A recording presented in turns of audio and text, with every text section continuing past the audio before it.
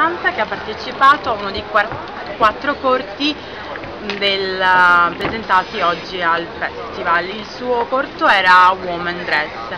Maia, come mai hai deciso di partecipare a questa cosa che mette in luce la creatività femminile?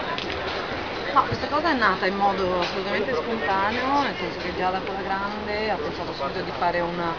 l'ordine dei corti, praticamente avete visto per primo l'ultimo che è stato fatto, e prima erano stati fatti quelli di Zoe Cassavetes, Lucrezia Martel, tutti molto belli, ma eh, prima di, di, quello di oggi in realtà non avevamo usato molto delle attrici, soprattutto delle modelle per fare E Giada, che è una regista di cinema e che ci tiene molto a lavorare con gli attori, mi ha detto senti a me piacerebbe molto comunque avere un'attrice nel film e ti va di fare questa cosa insieme, un giorno al massimo di riprese e ci divertiamo e facciamo una bella esperienza.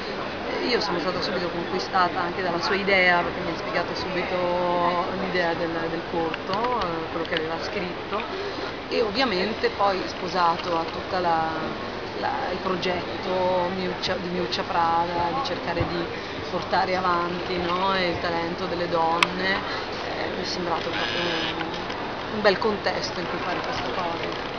È una domanda che non c'entra con i corti, so che tu vivi a Parigi ed ultimamente, nonostante tu sia una delle migliori in Italia, non, non lavori più in Italia, comunque si sente spesso parlare, poco spesso parlare di te. Mm. Come mai questa scelta di non essere... Ah guarda, è stata una cosa che, che, è capitata nel periodo diciamo un po' di fuoco in cui stanno succedendo delle belle cose in Italia, ho avuto il desiderio di, di confrontarmi con un altro paese, imparare una nuova lingua.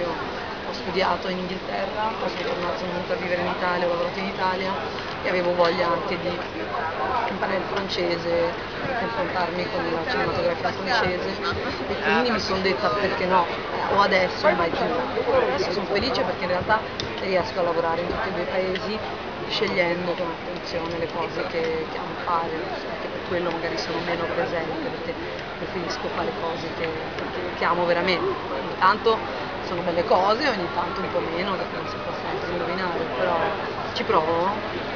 Grazie. Grazie a voi. Puoi fare un saluto agli amici di Radio Bue? Ah, gli amici, eh, pensavo fosse l'università, no? Sì, Radio ah, Bue. la radio, scusatemi. allora, un saluto agli amici di Radio